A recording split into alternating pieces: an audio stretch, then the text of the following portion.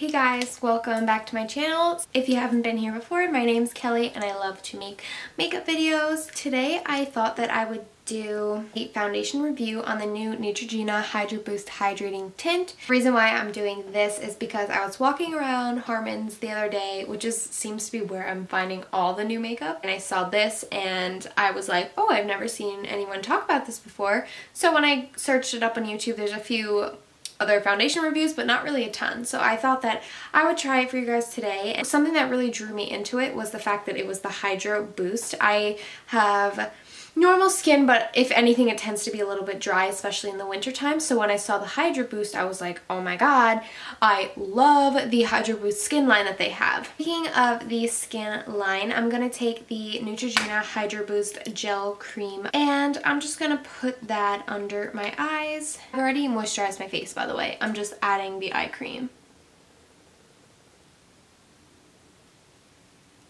Typically I do that probably 90% of the time that I do my makeup I apply that cream before but I never put it in my videos just because I feel like it's pretty boring. This claims to moisturize and plump skin for 24 hours and it also says it has hyaluronic acid in it which is great for moisturizing and hydrating the skin. I got the color 40 Nude which I hope matches me. I mean it looks pretty light in the can next to me but now that my hair is out of the way I'm going to take the foundation and first of all, it has a doe foot wand.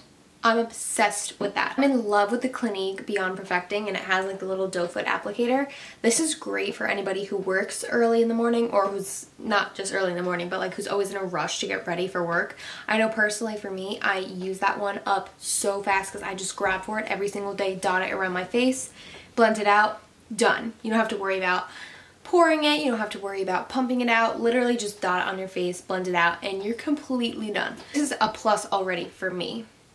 But I have to say, I can tell that the doe foot isn't getting as much product as it gets with the Clinique one. It does have the exact same amount in it. It has one fluid ounce, but I just mean like on the specific applicator when I just pull it out. I don't think that it gets as much product. How much product you get with just one pull out. This is as much product as you get out of the Clinique one. This one is the Clinique and then this one is the Neutrogena one. It might just like seem like it has less product. I don't think that it actually does now that I'm looking at both of it, but who knows. This was also $14.99 at Harmon, so if, and I actually had a coupon, so I got it for even less. But if this works, I mean, compared to the uh, Clinique one's only 27 I believe. I'm not sure how much it is, but it's definitely like not as expensive as a lot of the other foundations that I have. But I always am looking to save some money, so if this one's better, it, it's definitely at least $10 less than, than the Clinique one.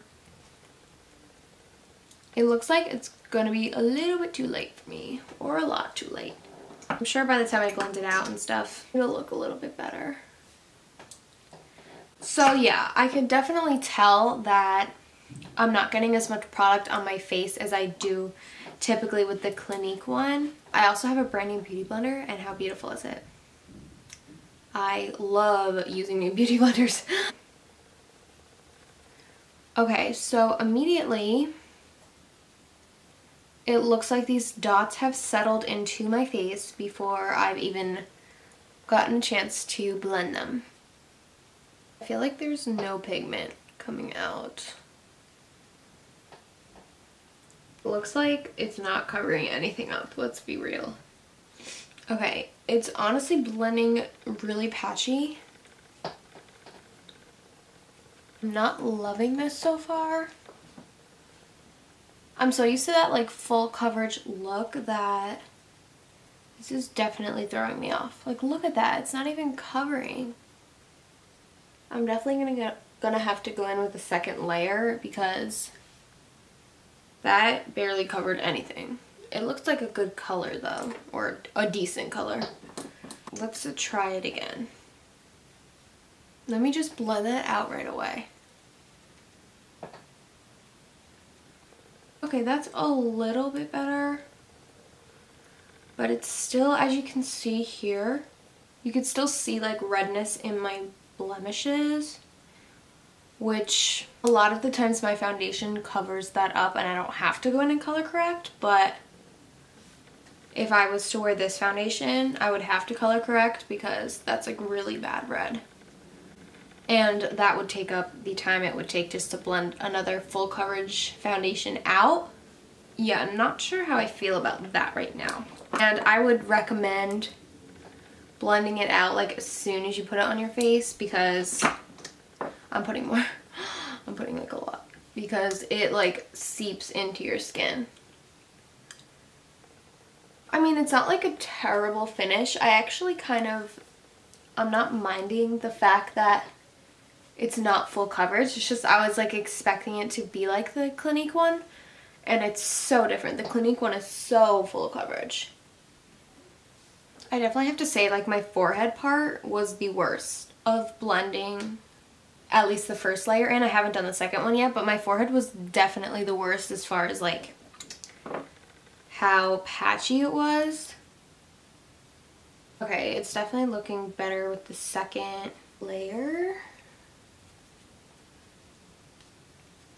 Okay, so after fully blending it out, I actually am starting to really like it. The only thing is, I, I realized after I like filmed this entire like part of me applying it and stuff, I realized it does say hydrating tint. So I shouldn't have really been expecting a full coverage foundation because it literally says tint. So I don't know why I didn't process that. But as far as a tint, like if you're looking for a really light coverage foundation that you could wear, let's say, to work or on an everyday basis or even to school, this definitely is a great foundation or hydrating tint. Like, wow. After it's like set into my skin, I'm really liking it. And I'm actually liking the fact that you can still see the imperfections on my face underneath because I don't know, it just looks, I feel like I look younger, not younger, but like I feel like I look youthful guarantee it's because it's hydrating. I did a few other foundation reviews of, of new drugstore foundations.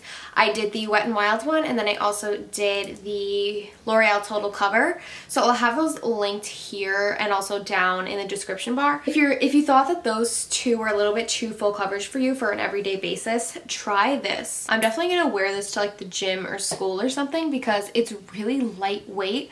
It makes you look like you have this flawless complexion. Even though there are a few like imperfections like I you can see my blemishes still here and you can see like obviously that one there and you can see my freckles on my forehead but like it looks hydrated it looks youthful it looks it looks like a natural flawless if you know what I mean. I don't know what to say. I just love it so far. I'm gonna finish the rest of my makeup and then I'm gonna come back I'm going to tell you guys what I think of it after that. I'm going to do kind of a really simple everyday look because I don't want to have this like dramatic makeup with this super natural looking base.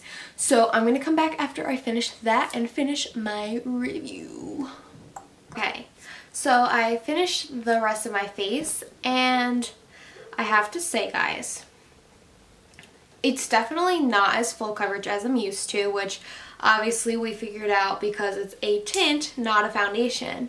However, I have to say it has not creased in my forehead lines. It has been two hours since I've applied this. I finished the rest of my makeup and then I went downstairs and I had some food and whatever. But you guys see how it literally has not creased? Look.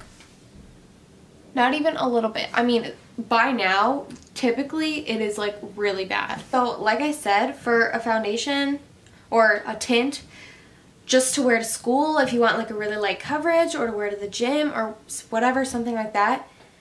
This rocks, honestly, guys. I wish there was like something bad that I could say about it, but just the fact that it didn't crease into my forehead lines make this entire thing worth it.